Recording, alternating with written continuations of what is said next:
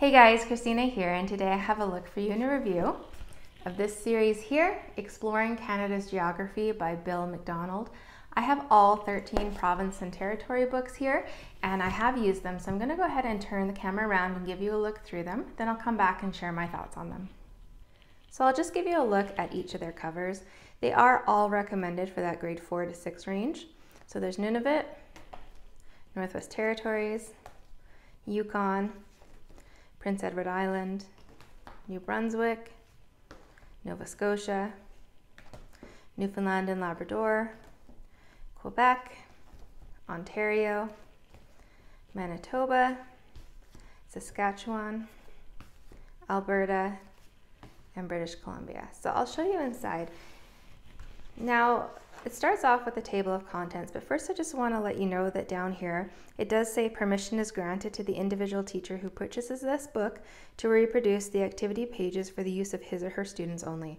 So you can make multiple copies for multiple children, which is always a big thumbs up from me as a mom of five. So here's the contents. Now, most of the books have a pretty similar content However, they're not always in the same place. So this is the Alberta, this is the British Columbia.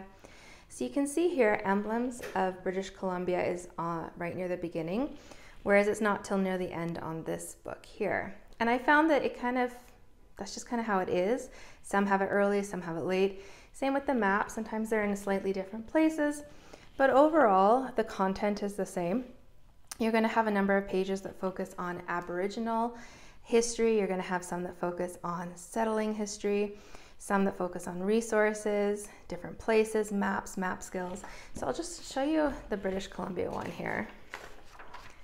So introduction. So most of the pages are pretty similar to this, that there is some writing and then there's kind of a fill in the blank or there's an activity.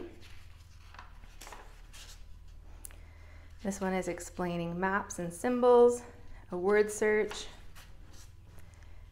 to read about Victoria, the capital, a couple questions, the map. And here's an interesting one that I, I like that they include this, that there's the map, but then there's the aerial view, because sometimes it can be hard to put those together. So I do like that it includes that. Just give you kind of a look. So road trip, puzzling places, a cross section, um, different views, climate, river system, Douglas fir, preserving an ancient rainforest, Aboriginal peoples of the North Pacific coast, inside a winter lodge. So again, like they're little activities here as they're doing the reading or after they do it. Aboriginal place names, the sea otter, mapping the North Pacific coast, Simon Fraser, the Cariboo Gold Rush, Barkerville, early logging methods, British Columbia's lumber industry, British Columbia's natural resources, so they have to decide if they're renewable, non-renewable.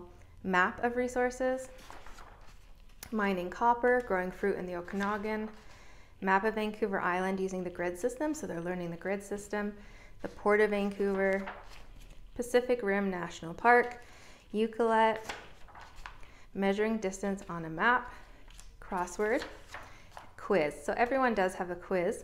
And then there's at least one map, sometimes there's two, where there's dots and the kids can fill those dots in. And then, thankfully, just in case they have answers at the back here.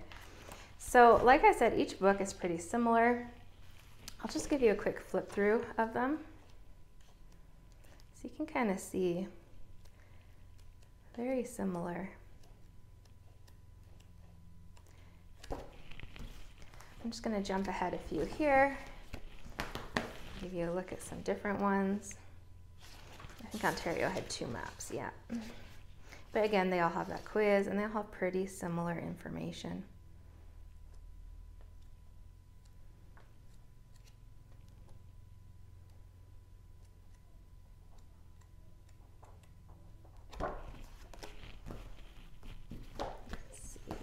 Newfoundland and Labrador.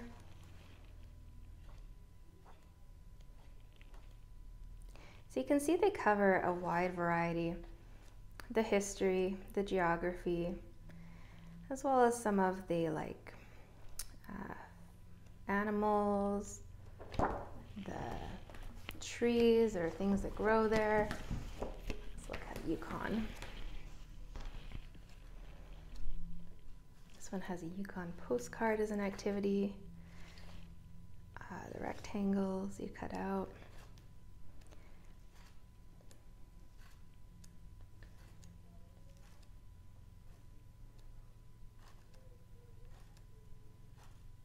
So again, I do like how they have different images of similar areas, sometimes from space, sometimes just like an aerial view, just to help kids kind of understand that. So I'll just quickly show you one more. I'll show you a name of it here.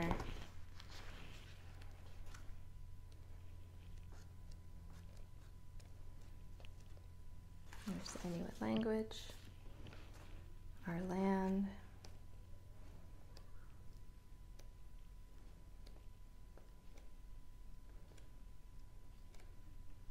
about the axis. So there's a look at all of those books. So I used these books with my children a few years ago when we studied Canada. At the time they were in, I believe, preschool, grade two, grade three, and grade five, I want to say. So they were kind of on the younger end of that recommended grade four to six range and even much lower. But some of those really did work for them. And actually this year I'm gonna be having older children using them. I'll have a child in kindergarten, grade three, grade six, grade seven, and grade nine. So I feel like even though it is recommended grade four to six, it's very versatile. You can use it for younger and for older children. Also, like I mentioned, as a mom of five, I really appreciate the photocopying um, part in there that I can photocopy for multiple children. And that means that, again, we used it, but we didn't actually have to write in the book, so now we're able to use the pages again. So financially, they're about $14 a book, which for 13, it's an investment. For our family, it was worth it. Canadian, five children doing Canada, studying it multiple times. It was worth the investment for us. And I do like how varied it is. I like how they have, like I said, it includes like the animals, it includes some of the history, some of the geography, some of the city names, getting to know the maps, distance, those skills, the grid reading. So I feel like it kind of encompasses a bunch of skills and topics all at once, which is something that I like. So yeah, we really enjoyed having this resource, using it again. If there's anything that I missed or if you have any questions, just leave them down in the comment section down below and I can answer that for you. Otherwise, I hope this finds you having a great day. Take care.